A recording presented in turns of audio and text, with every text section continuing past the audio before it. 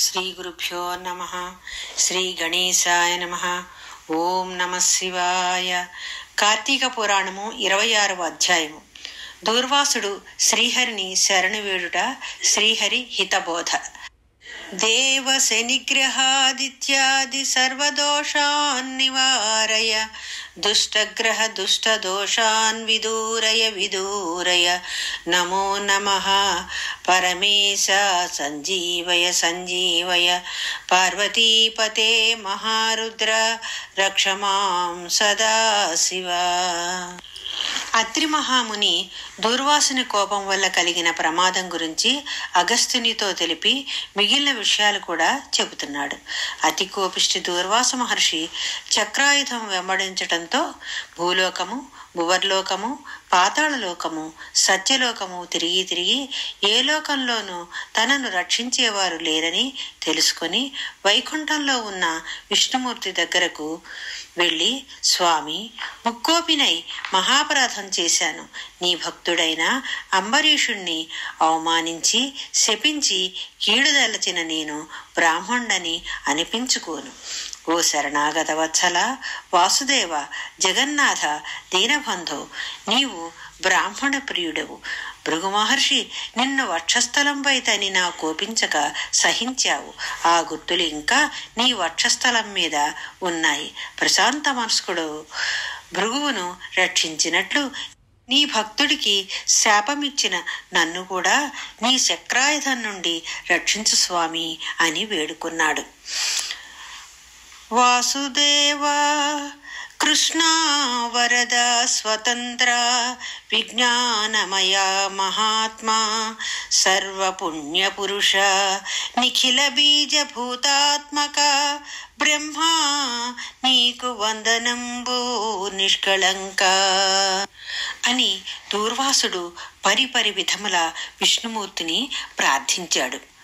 అహంకారం వదిలి ఈ విధంగా ప్రార్థించిన దూర్వాసును చూసి చిరునవ్వుతో నీ మాటలు నిజం. నీలాంటి తపస్యాలురు నాకు చాలా ఇష్టలు. నీవు బ్రాహ్మణ రూపంలో పుట్టిన రుద్రుడు నిన్ను చూచిన వారు భయపడకుండా ఉండలేరు. ప్రతి యుగంలో నేను గో దేవత బ్రాహ్మణ సాధుజనులకు వచ్చే కష్టాలను పోగొట్టి ఆ పరిస్థితులకు తగిన రూపం ధరించి దుష్ట శిక్షణ శిష్ట రక్షణ చేస్తూ ఉంటాను. నీవు అకారణంగా అంబరీషుడిని శపించావు. నేను ప్రతి ప్రాణులలో నా రూపాన్ని చూస్తాను. ధర్మ పరిపాలకుడు నా భక్తుడు అయిన అంబరీష్ని నీవు ఇంటికి అతిథిగా వచ్చి ఎడమకాలితో తన్నావు. ద్వాదశి ఘడియలు దాటకుండా భోజనం చేయమనలేదు. వ్రతభంగమవుతుందని భయపడి నీళ్ళు తాగాడు.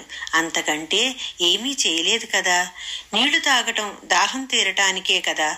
వ్రతభంగానికి భయపడి అలా చేశాడు కానీ నిన్ను అవమానించటానికి కాదు. కోపంతో ఉన్న నిన్ను బ్రతిమాలిన శాంతించకపోవటంతో నన్ను శరణు వేడాడు.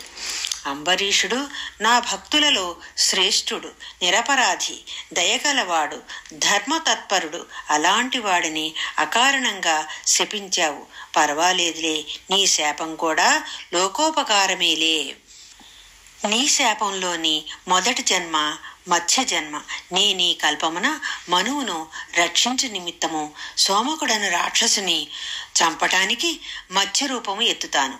మరికొంత కాలమునకు దేవదానవులు క్షీరసాగరమును మదించటానికి మంధర పర్వతమును కవ్వముగా చేస్తారు. ఆ పర్వతమును నీటిలో మునగకుండా కూర్మ రూపమున నా వీపున మోస్తాను. వరాహ జన్మమెత్తి హిరణ్యాక్షుని వధిస్తాను. నరసింహ జన్మెత్తి హిరణ్యకశుపుని చంపి ప్రహ్లాదుని రక్షిస్తాను. బలిచే స్వర్గము నుండి పారద్రోలబడిన ఇంద్రునకు తిరిగి స్వర్గమును అప్పగించటానికి వామన రూపమెత్తి బలిచక్రవర్తిని పాతాళమునకు తొక్కివేస్తాను. భూభారమును తగ్గించటానికి క్షత్రియులను చంపటానికి బ్రాహ్మణుడినై జన్మించి భూభారమును తగ్గిస్తాను. లోకకంటకుడైన రావణుని చంపి లోకోపకారము చేయుటకు రఘువంశమున రఘురాముడునై పుడతాను. పిదప యదువంశమున శ్రీకృష్ణునిగను కలియుగమున బుద్ధుడుగను కలియుగాంతమున విష్ణుచిత్తుడను విప్రుని ఇంట కలికి అను పేరున జన్మించి అశ్వారూఢుడనై పరిభ్రమిస్తూ బ్రహ్మద్వేషులనందరను మట్టు పెడతాను. నీవు అంబరీషునకు శాపరూపమున ఇచ్చిన పది జన్మలను ఈ విధముగా నేను పూర్తి చేస్తాను. ఇట్లు నా దశావతారములను సదా స్మరించు వారికి సమస్త పాపములు హరింపజేసి వైకుంఠ ప్రాప్తి కలిగేలాగా చూస్తాను. ఇది ముమ్మాటికి తథ్యము. భగవద్గీత శ్రీ భగవానువాచ. నహి దేహభృతా శక్యం త్యక్తుం కర్మణ్యాశేషత.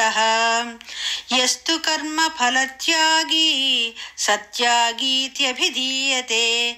దేహధారికి కర్మలన్నిటినీ త్యజించటం సాధ్యం కాదు. కర్మల ఫలాన్ని త్యాగం చేసిన వాడే త్యాగి అని అనిపించుకుంటాడు. ఇరవై ఆరవ రోజు పురాణము సమాప్తం. సర్వం శ్రీకృష్ణార్పణమస్తు.